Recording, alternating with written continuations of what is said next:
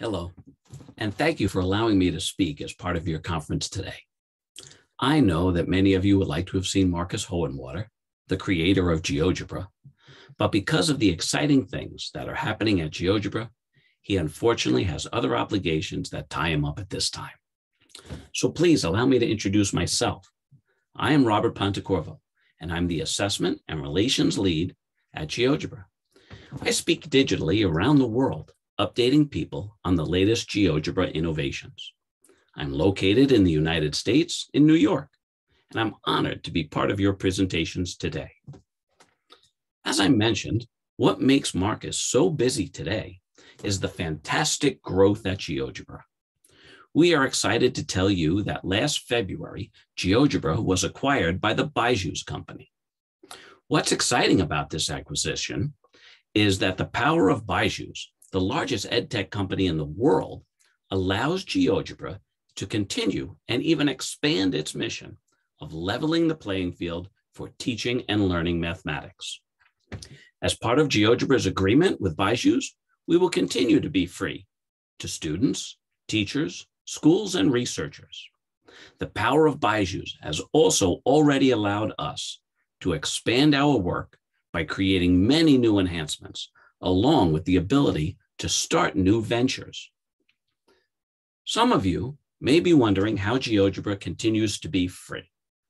Well, it's simple. GeoGebra has always been and will continue to be free for non-commercial use. What that means is users only pay for GeoGebra when they use GeoGebra to sell a product or make an income.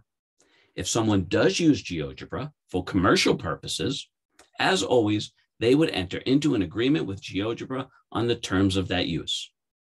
Many of GeoGebra's commercial partners are companies that integrate GeoGebra into their testing and learning platforms. Because these companies charge a fee to their end users, they need to have a commercial agreement with GeoGebra. As a personal and educational user of GeoGebra, it will continue to be free to you, and I encourage you to become part of the GeoGebra community.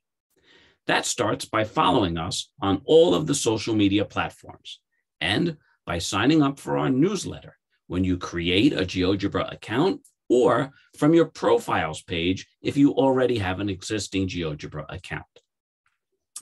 Enough about the company and the organization. Let's talk about what's new in the software. Many users use GeoGebra Classroom or have noticed a new layout to their main classroom page. Let me share my screen and pull up for you what I mean.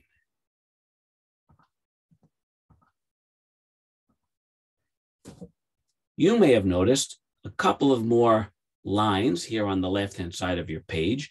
That's where a teacher can now view the activity as a whole or each individual task and the student's progress on the activity when a teacher goes into a higher level student view and looks at the larger image of a student, there is also a switcher now where they can switch from student to student more quickly. Also, from the student's point of view, there is now an equation button where this makes it more easy for a student to enter a specific equation into GeoGebra along with writing text. Let me take a minute and stop screen sharing this and start screen sharing for you my tablet. Make sure that comes up. There it is. So here you can see I am a teacher who shared an activity with my class. And this is my uh, dashboard where I can see the lesson as a whole, you're familiar with the share code and the copy. And here, of course, I can see the icons for my two students in my class, Cookie and River. If I click on one student, let's say Cookie, I can get a larger view of what Cookie is working on, and I could see their progress. And now here's that switcher that I mentioned, where a teacher can go from student one to student two. Here's River, and look at River's progress. Of course, I could switch back again and look at Cookie's progress. And I can go back to the main view. Also, if I click on the activity name, I can see by task each student's progress. In other words, on task one, two of the two students have completed that task. On task two, no one has yet completed that task. And no one also has started task three. I can also look at each task individually to see who is actively working on that task. Right now, Cookie and River are working on task one. They have not yet started task two, and they have not either of them looked at task three. So a much nicer view of all of my students' work, both as a group and a class as a whole and individually. Uh, oh, I also mentioned that um, the equation editor button that I think you probably saw while I was viewing the, the student's view. Um, for those of you who use Microsoft Outlook, I think I should go back to my slides. You should know that GeoGebra has been working diligently to integrate Classroom into Microsoft Outlook and specifically Microsoft Teams. Uh, and they continue to work on integrating GeoGebra more seamlessly with many different LMSs as we go along. Also, what I didn't mention is that if a teacher, when they create a task, puts in questions where there are answers, when they assign that activity to the class, they can decide to allow their students to check their work as they are answering those questions. So a, student can get immediate feedback by showing their uh, solution button and looking at the next question and seeing how they are doing on each particular problem.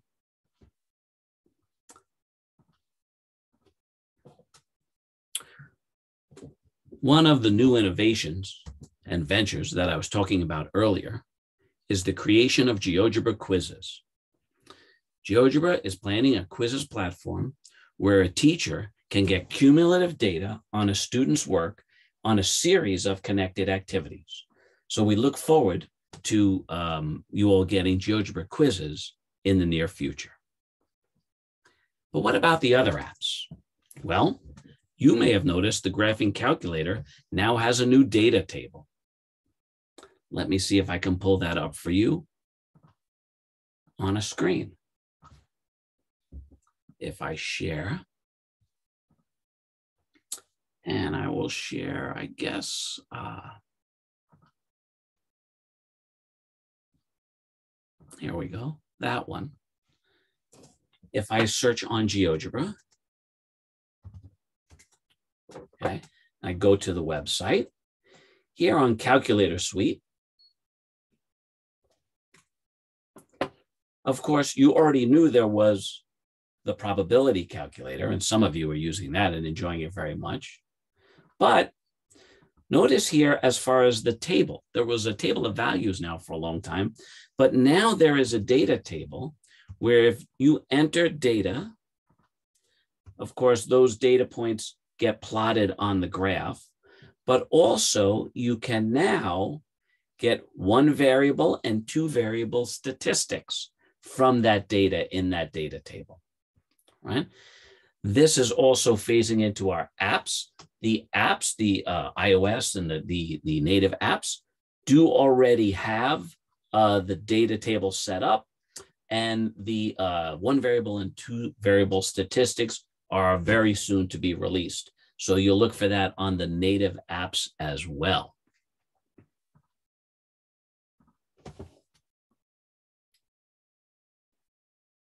Oh, also, the next thing I wanted to tell you about on the app version, and I think I'll pull up my um, iPad again for this demonstration. Hold on, let me clear that out. Okay. The next feature, you should see my iPad there. Here it comes. There we go. The next feature is one that we've all enjoyed for a long time on the computer-based uh, versions of GeoGebra. But now I'm here on my iPad and you'll notice as I type in a command, the wonderful command uh, autocomplete is now available. So you could see I am getting the option to select correlation coefficient. Autocomplete lets me select, let's say the uh, coefficient feature, and I can move this slider over to get a bigger view of the window. And now I would put in my list of points, either as list one or as a, a series of values. And now autocorrect is available on the native app versions to make it more easy or more simple for your students to enter in commands. Let's see. What's in the future for GeoGebra Suites? Well, as I mentioned in the mobile app, the new data table will allow us to develop a probability calculator on the mobile devices. I know some of you are currently, like I said, enjoying that calculator in the web-based version of the suite.